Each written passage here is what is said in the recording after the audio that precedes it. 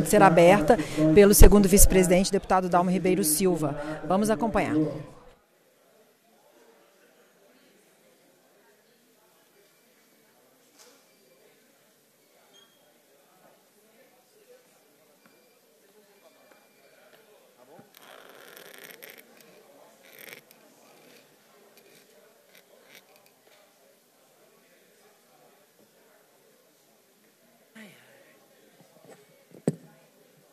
Ata da 88ª reunião ordinária da quarta sessão legislativa. Às 14 horas e 14 minutos, havendo número regimental, o presidente Adalquer Lopes declara aberta a reunião com as seguintes presenças. O deputado Fabiano Tolentino, segundo secretário ADOC, procede à leitura das atas das duas reuniões anteriores, que são aprovadas sem restrição. O deputado Rogério Corrêa, primeiro secretário, lê a correspondência constante do ofício 24/2018 do presidente do Tribunal de Contas.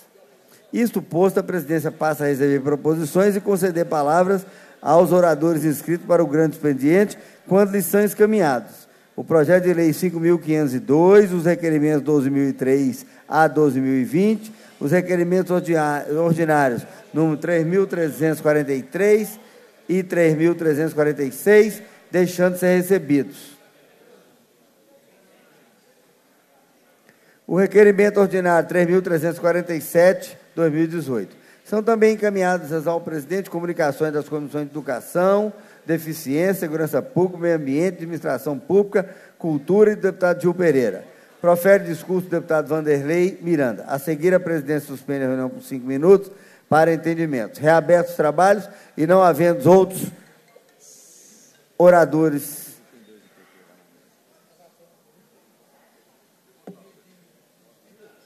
Passa-se passa a segunda parte da reunião. Em sua primeira fase, momento em que o presidente informa ao plenário que foram aprovados, nos termos do parágrafo 1 do artigo 103, os requerimentos 12.004 a 2007, 2009 a 2012, 2018, e da ciência das comunicações hoje apresentadas pelas comissões de Educação, Deficiência, Segurança Pública, Meio Ambiente, Administração Pública e Cultura. Nesse passo, são submetidos à discussão e votação e aprovados, cada um por sua vez, os pareceres de redação final dos projetos de lei 5.065, 918, 3.854, 4.725, 4.736, 4.821, 5.404, 5.358. Ato contínuo é submetido a votos e aprovado o requerimento ordinário 3343. Esgotada a matéria, passa a segunda fase do ordem do dia, com apreciação constante das matérias da pauta. Questão de ordem do Alencar da Silveira vem à mesa e é submetido a votos e aprovado o requerimento do Cristiano Silveira, solicitando inversão da pauta da reunião, de modo que os projetos de lei 5456 e 5406 sejam apreciados em último lugar nessa ordem. Na sequência, são submetidos à discussão e votação nominal e aprovados, cada um por sua vez em primeiro turno. A proposta de emenda à Constituição 38, 2015, com 54 votos favoráveis e nenhum contrário, em segundo turno. Os projetos de lei 5457, na forma do vencido em primeiro turno, 1271 na forma do substitutivo, 1602 na forma do vencido em primeiro turno, 5408 na forma do substitutivo número 1 e 5409 2018. Isso posto, a presidência suspende a reunião por cinco minutos. Reabertos os trabalhos, anunciada a discussão em segundo turno do projeto de lei 5456 e tendo essa sido encerrada. Fazem uso da palavra para encaminhar a votação da matéria. Fred Costa, Bonifácio Mourão, Fabiano Tolentino, Castro Pimenta, Noraldino Júlio Sargento Rodrigues André Quintão. A seguir, o presidente suspende a reunião por cinco minutos. Reabertos os trabalhos, faz uso da palavra para encaminhar a votação do projeto do deputado A. Santiago, após o que suscita questão de ordem. Fabiano Tolentino, Sargento Rodrigues e Ulisses Gomes. Nesse passo, a presidência, em atenção à questão de ordem suscitada pelo deputado Sargento Rodrigues, determina seja feita chamada para recuperação, para recomposição de quórum respondem 30 números de deputados insuficiente para votação. Tendo em vista, o presidente determina nova chamada para recomposição. Respondem 27, ato contínuo. O presidente suspende a reunião por uma hora e dez minutos para que se configure o código da votação. Reabertos os trabalhos, a presidência verifica de plano a inexistência de quórum, encerra a reunião, convocando para extraordinárias 18 horas. Levanta-se a reunião. Muito obrigado, Vossa Excelência. Em discussão a ata, não havendo quem queira manifestar. Para discutir. Dou por aprovada. Para discutir. Eu falo pela ordem, não? Pela o senhor já. Pela ordem. Pela Para discutir. Eu... Não, pela, pela ordem. ordem. O senhor já Desculpa, venceu então. esse tempo, não tem Mas problema. Está ainda, Vossa Excelência. Eu só queria, na verdade, denunciar para os prefeitos que é, vieram com muita esperança de suas cidades, é, numa luta bonita, sem medo, porque, infelizmente, nós vivemos em Minas Gerais quatro anos e nós temos prova que o presidente da Associação Mineira de Municípios, que teve a sua prefeitura invadida pela polícia política do PT, o prefeito Rodrigo Rieira de Itajubá, que a polícia política do, desse governo do PT entrou na casa dele, o filho desmaiou, entraram com metralhadora, uma polícia orientada pelo PT, e agora nós estamos vendo a operação desmanche. Abafa. Para não votar este fundo ou para deixar para a semana que vem e vão cansando os prefeitos, vocês têm que retornar para suas cidades. Não tem, vocês não têm condição, muitos, de pagar, porque esse governo gastou com outras coisas o dinheiro que pertence às prefeituras. E agora nós vemos um fim melancólico de um governo. Melancólico, um fim melancólico. É tristeza para nós porque nós ouvimos historicamente os, os discursos do PT e agora está diante de todos nós a realidade do que é este partido, de como um governo feito por eles trata os municípios onde as pessoas de Minas Gerais vivem, onde estão esperando agora os servidores das prefeituras, dos nossos 853 municípios, poder honrar com seus servidores.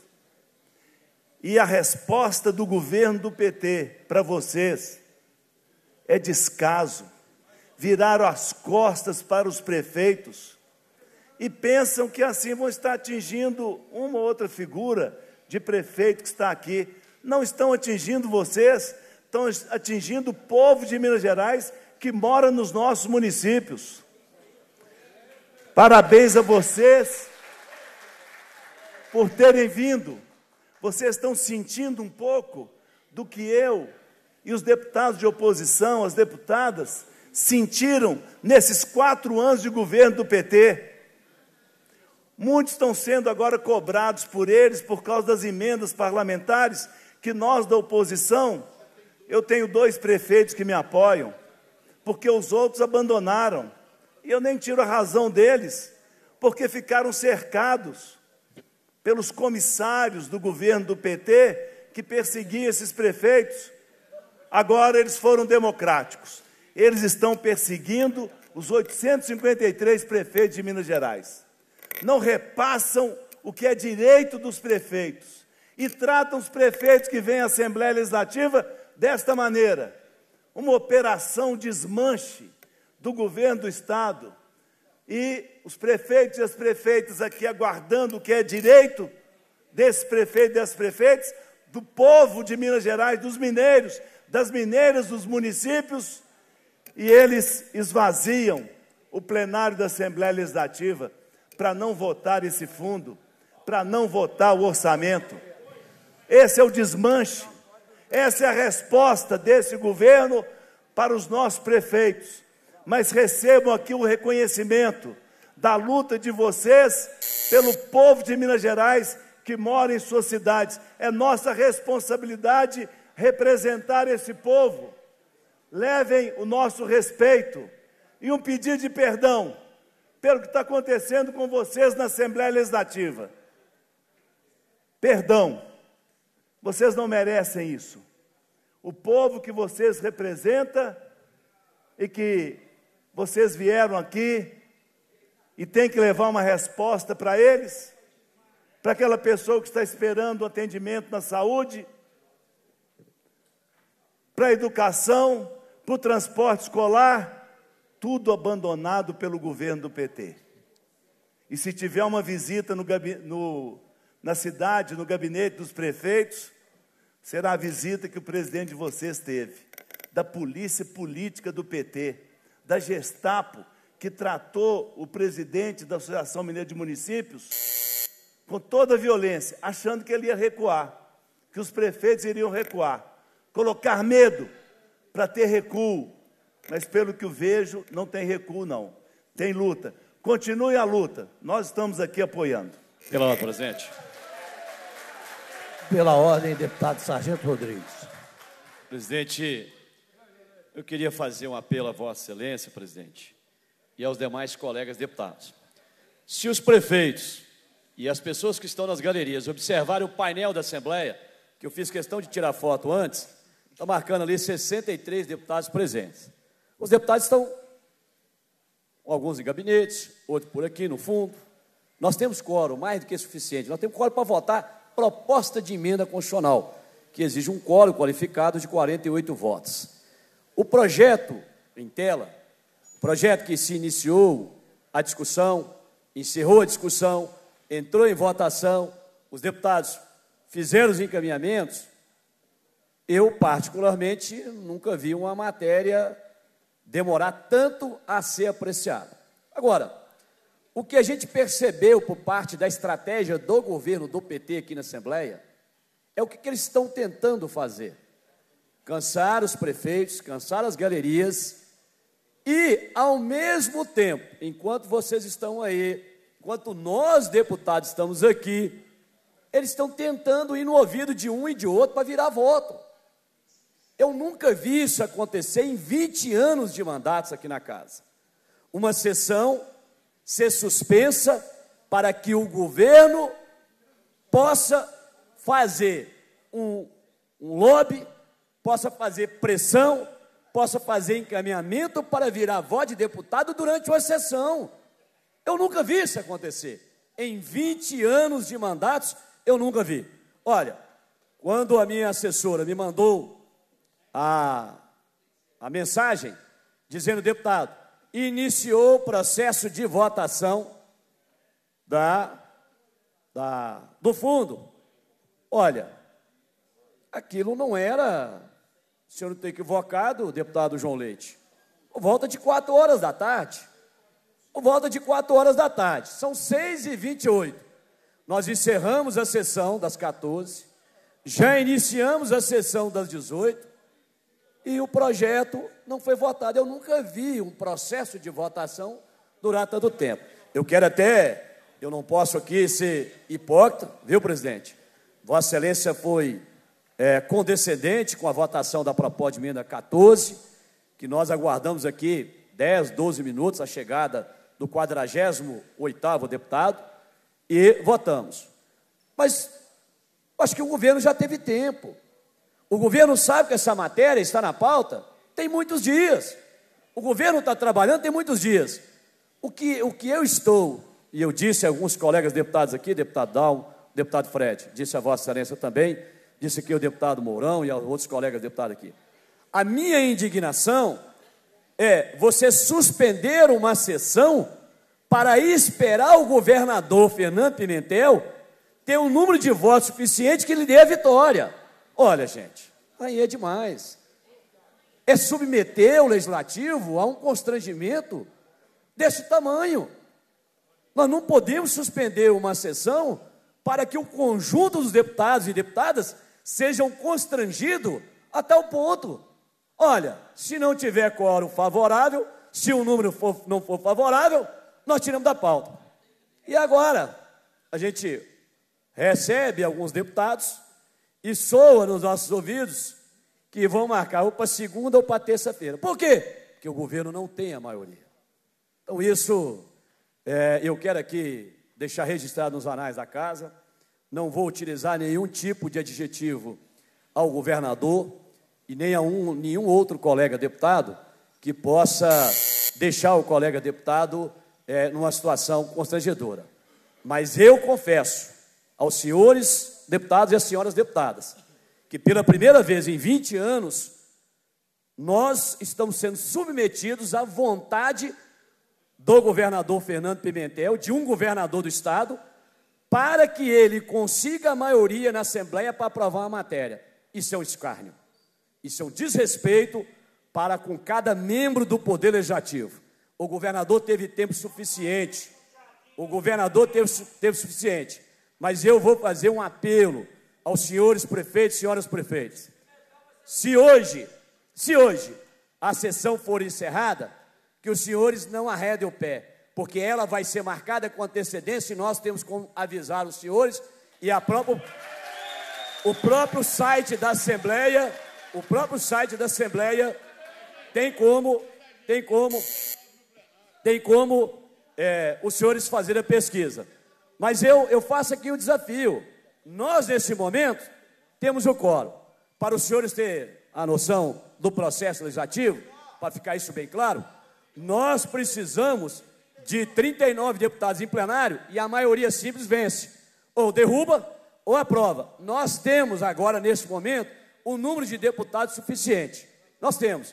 Então eu não queria encerrar essa legislatura que nós tivemos um trabalho enorme na oposição, vendo um governador ser irresponsável no trato da coisa pública, vendo um governador que não teve sensibilidade e não teve zelo, não teve responsabilidade para lidar com a administração pública, o nosso presidente Adal Kleber Lopes cumpriu rigorosamente o dever com a lei de responsabilidade fiscal, fez o dever de casa, não pediu suplementação orçamentária, está aqui o presidente no segundo biênio, não pediu, fez o dever dele. Presidente, Vossa Excelência nos conduziu muito bem até aqui. Vossa Excelência brilhou. Eu disse mais cedo com a minha secretária: olha, eu passei aqui por Anderson Adalto e eu quero fazer isso de público, para ficar registrado nos anais dessa casa. Quero fazer de público. Porque a gente precisa fazer é quando o cidadão está vivo, olhando para você. Eu passei aqui por Anderson Adalto, Antônio Júlio, passei aqui por Mauri Torres, Diniz Pinheiro, Alberto Pinto Coelho. Vossa Excelência se revelou. Quando Vossa Excelência lançou a candidatura, eu fiquei com o pé atrás. Será? Será que será um bom presidente? Para mim, Vossa Excelência ganhou disparadamente de todos esses outros presidentes. Vossa Excelência tem o meu respeito, a minha admiração. E olha que eu discordei de Vossa Excelência no momento que Vossa Excelência enxugou os gastos da casa. Porque ali, de certa forma, atrofiava um pouco do nosso mandato, das nossas prerrogativas, ao ter que deslocar com as comissões do interior. Mesmo assim, Vossa Excelência, com a tranquilidade, com a serenidade, Vossa Excelência enxugou as despesas bastante, cumpriu muito bem a missão. Nós não podemos, presidente. Faço um apelo a Vossa Excelência. Nós não podemos ficar aqui aguardando a boa vontade do governador. Nós temos coro, presidente. Vamos submeter a matéria à votação, por gentileza. Faça esse apelo a Vossa Excelência.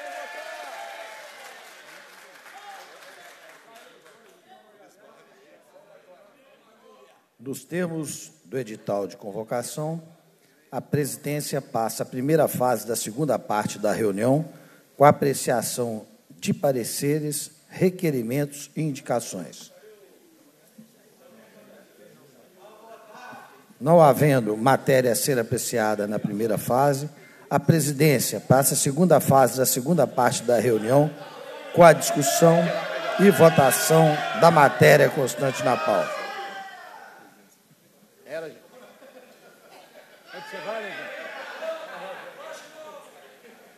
Fica quieto aí, Lenca.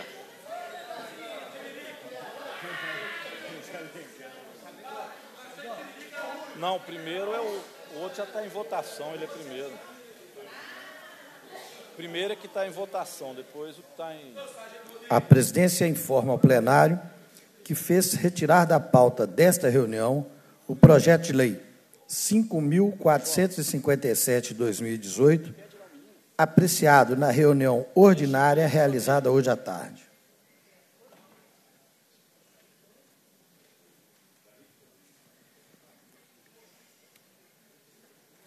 Votação em segundo turno do projeto de lei 5.456-2018 do governador do Estado, que dispõe sobre a instituição do Fundo Extraordinário do Estado de Minas Gerais e da outras providências Recomposição de coro, presidente, por favor. É regimental. A presidência solicita. O, o, senhor presidente, questão de ordem. Por favor. É, é notório que há quórum, senhor presidente. Acho que. É, reg, é regimental. A palavra está com o primeiro secretário para a chamada dos deputados. Deputado Adal Clever Lopes, presente. Lafayette Andrada. Dalmo Ribeiro, presente. Inácio Franco, presente. Rogério Correia, presente. Alencar da Silveira Júnior, presente. Arlen Santiago, presente. Agostinho Patrus. André Quintão. Anselmo José Domingos, presente. Antônio Carlos Arantes, presente. presente. Antônio Jorge. Antônio Lerim. Arlete Magalhães. Arnaldo Silva, presente. Bonifácio Mourão, presente. Bosco, presente. Braulio Braz, presente. Cabo Júlio. Carlos Henrique. Carlos Pimenta, presente. Cássio Soares. Celindo Citrocel. Celis Laviola. Cláudio do Mundo Novo, presente. Coronel Piscinini. Cristiano Silveira. Dilson Melo. Dirceu Ribeiro. Douglas Melo. Dr. Jean Freire, Dr. Wilson Batista, Duarte Bexir, presente, Elismar Prado, presente, Emidinho Madeira, Fabiano Tolentino, presente, Fábio Avelar, Fábio Xerém, Felipe Etier, Fred Costa, presente, Geisa Teixeira, Gil Pereira, presente, Gilberto Abramo, Glaicon Franco, Gustavo Correia, Gustavo Santana, presente, Gustavo Valadares, presente, Eli Tarquínio, Ione Pinheiro, presente, Irã Barbosa, Isauro Calais, Ivair Nogueira, presente, João Leite, João Leite, presente, João Magalhães, João Vitor Xavier, presente, Leandro Genaro, Léo Portela, presente. Leonídio Bolsas, presente. Luiz Humberto Carneiro. Isauro Calais, presente. Luiz Humberto Carneiro, presente. Marília Campos. Mário Henrique Caixa. Neilando Pimenta. Noraldino Júnior. Nozinho. Paulo Guedes. Ricardo Faria. Noraldino, presente. Noraldino Júnior, presente. Ricardo Faria, Roberto Andrade, Rosângela Reis, presente, Sargento Rodrigues, presente, Sávio Souza Cruz, Tadeu Martins Leite, Tiago Cota, presente, Tiago Ulisses, Tito Torres, presente, Tony Carlos, Ulisses Gomes e Vanderlei Miranda. Segunda, presidente. Segunda chamada de Vou votação. Lafayette Andrada. Você acompanha aí a segunda chamada para a recomposição de quórum que está sendo feita pelo primeiro secretário, deputado Rogério Correia. Foi ele mesmo que pediu a realização então dessa recomposição de quórum para ver se há número suficiente de deputados para a votação. Na pauta do plenário dessa reunião extraordinária há dois projetos de lei.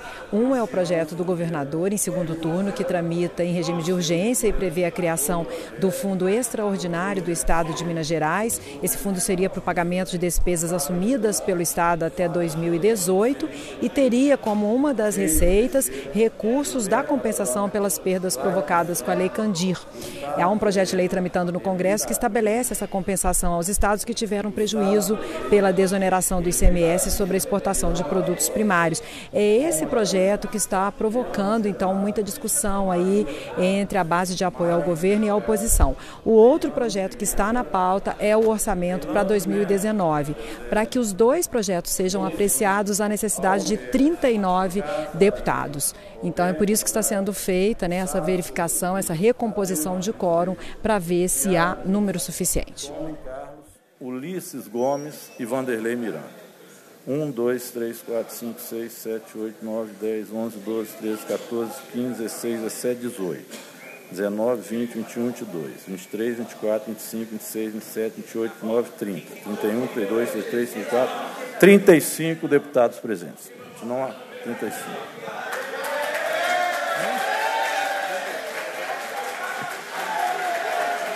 Trinta e cinco senhores deputados, portanto, não há quórum para a votação.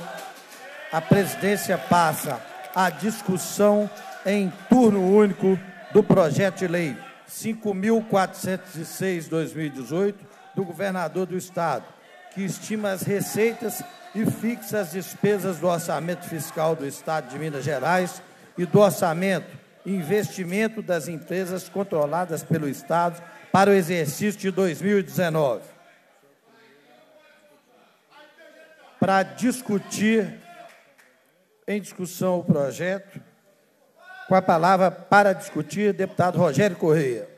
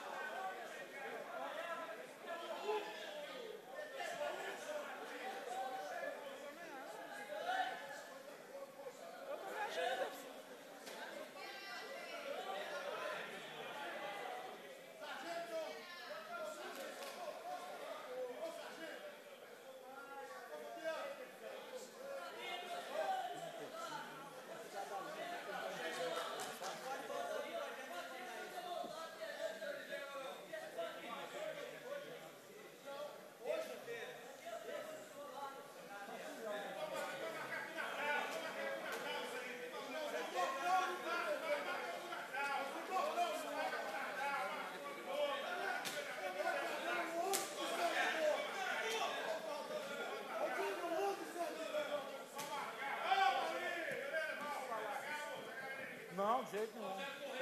Você está acompanhando a reunião extraordinária de plenário da noite desta quinta-feira, que foi aberta há pouco.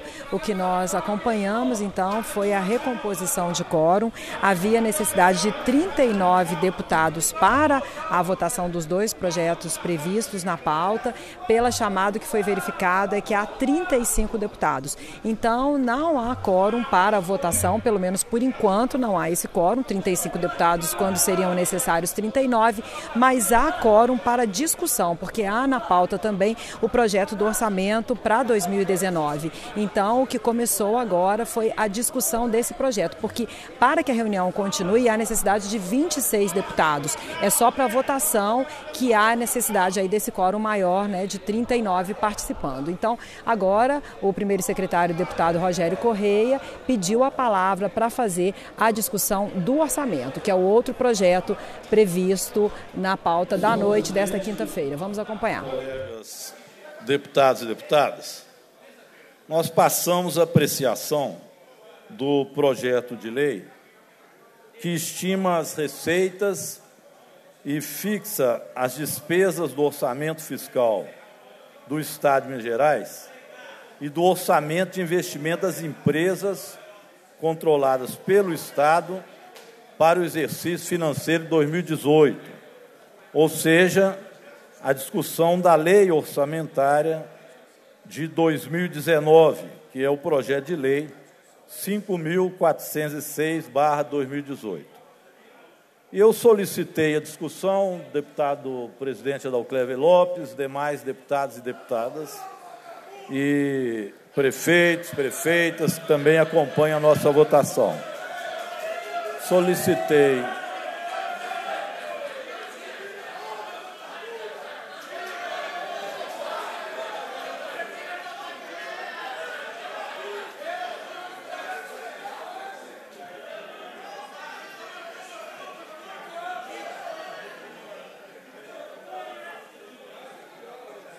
presidente.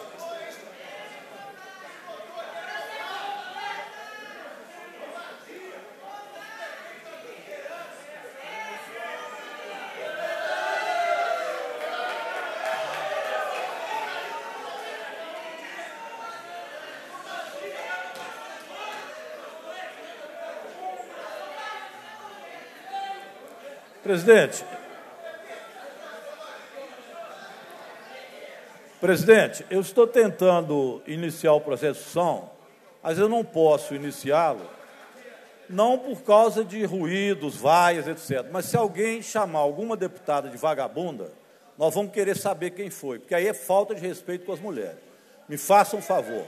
Vocês tenham respeito e se mais uma vez alguém chamar a deputada de vagabunda, vai ter que responder judicialmente. Que aqui nós não aceitamos isso, muito menos com uma deputada. Então, se tiver algum corajoso aí para repetir isso, repita que será processado, nós vamos identificar. Então, podem vaiar, podem se manifestar do jeito que quiserem, mas na minha frente não chamem uma mulher de vagabunda. Pode ser algum bolsonarista que está aí chamando a mulher de vagabunda, mas na minha frente não chama-se não. Então, se tiver mais algum corajoso para chamar a deputada Marília Campos vagabundo, chame agora, se tiver coragem aí. Vamos ver. Vamos ver se alguém tem coragem de repetir o que falaram com a deputada. Não tem coragem mais não? Então agora escutem os deputados os argumentos direitos. Mas tratar uma deputada ou qualquer mulher nesses termos fere qualquer princípio nosso de democracia e de liberdade. Ok? Vaiar é um direito de vocês. Mas chamar uma mulher de vagabunda, isso não. Vocês mesmos deviam identificar quem fez isso, porque isso é muito ruim saber que um prefeito veio aqui chamar uma mulher de vagabunda. Então tenham consciência disso e vigiem quem é que faz e suja a imagem daqueles que estão aqui. Sejam vocês mesmos porta-vozes de não permitir esse tipo de coisa. Essa é a primeira questão que eu queria falar, presidente, que trata-se de uma questão de ordem, de uma questão de ordem. Se não vai ter isso mais, nós vamos continuar falando mas não façam isso mais. Quem fez foi um só. Quem fez, não faça mais. Quem fez, não faça mais. Presidente.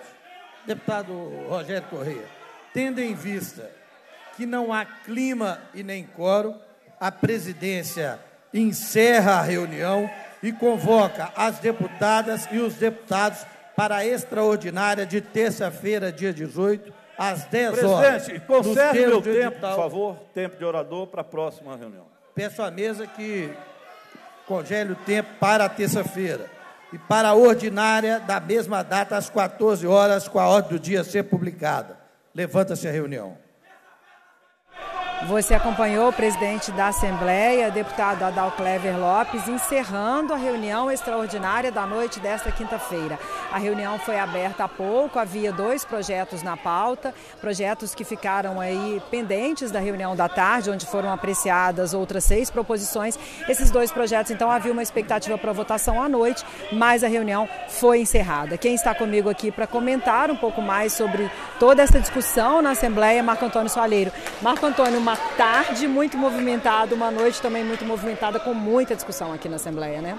Boa noite, Cláudia. Boa, Boa noite. noite. a todos que nos assistem, que nos acompanharam ao longo da tarde também. É, termina sem votação, então, esta quinta-feira, uhum. de dois projetos importantes. Os projetos mais importantes que estavam previstos para votação nessa quinta-feira acabaram não sendo apreciados porque não houve quórum suficiente nessa uhum. reunião extraordinária para que houvessem as votações. São eles o projeto de lei do orçamento de 2019 e o projeto de criação do Fundo Extraordinário de Minas Gerais. Para que esse projeto do fundo não fosse votado, que a gente viu foi uma estratégia de esvaziamento da reunião é, que partiu da base governista, que não sentia segurança para que o projeto, em sendo votado, tivesse uma maioria que levasse à aprovação desse projeto proposto pelo governador Fernando Pimentel.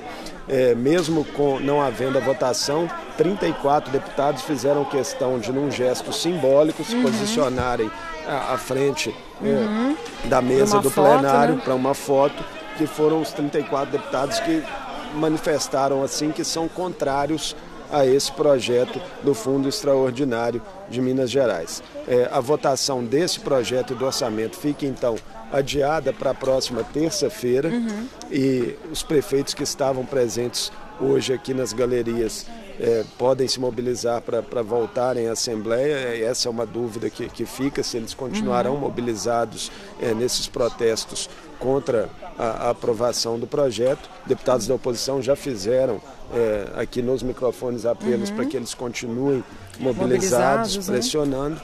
E a base governista, por sua vez, ganha mais um tempo, mais uns dias para continuar nessa estratégia de convencimento dos deputados e também em articulações é, com lideranças municipais, no sentido de se criar um clima político que permita a aprovação da proposta. Pois é, e aí tem o orçamento também na pauta que você citou, né? E lembrando que para que comece o recesso parlamentar, há necessidade aí da aprovação do orçamento para 2019, é, é isso? Isso, e uhum. a próxima terça-feira uhum. né, é, há essa perspectiva então de que uma nova tentativa de votação tanto do Fundo Extraordinário de Minas Gerais quanto do orçamento seja feita uhum. e se na terça-feira que vem é, for votado efetivamente o orçamento do Estado para 2019, com um déficit fiscal previsto de 11,44 bilhões de reais, a tendência é mesmo que a Assembleia encerre seus trabalhos, trabalhos legislativos neste ano de 2018. Ok, Marco Antônio, vamos esperar então aí, né, na semana que vem, essa votação prevista aí, a gente volta a conversar sempre que você tiver novidade, amanhã e sempre que a gente tiver, você tiver novidade. Muito obrigada. Obrigado, Cláudio. A gente agradece a todos que nos acompanharam é, durante essa semana agitada aqui na Assembleia. Ok, obrigada. Eu conversei com o Marco Antônio Soalheiro sobre a pauta do plenário, sobre projetos que ainda estão pendentes, estão gerando muita discussão aqui na Assembleia, né? Entre eles, entre essas proposições, o projeto para a criação do Fundo Extraordinário do Estado de Minas Gerais, um projeto do governador que tramita em regime de urgência.